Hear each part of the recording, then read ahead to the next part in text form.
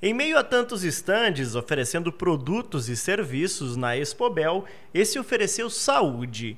Os alunos do curso de medicina da Unioeste, coordenados pelo médico nefrologista Paulo Fortes, distribuíram materiais informativos com orientações sobre a saúde renal e prestaram alguns serviços, como aferição de pressão arterial e exame de glicemia.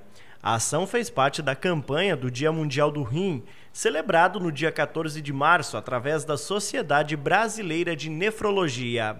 Infelizmente, o grande problema da doença renal crônica é que, assim, até estágios finais da doença, a pessoa não tem sintomas. O que, que acontece? A pessoa precisa já ter perdido uma parte significativa do rim para desenvolver algum sintoma. Então, justamente a nossa campanha é no sentido de fazer essa detecção precoce. A dona Fátima foi uma das visitantes que recebeu orientações e fez exames. A dona de casa nunca teve doença renal, mas não deixa de lado os cuidados. Bastante água, tomo água, faço exames, sim, com frequência. Mantém os exames em dia? Sim, sim. Mantém. Não dá para brincar, né? Não, não dá para brincar. Tem que é sério o negócio, tem que se cuidar.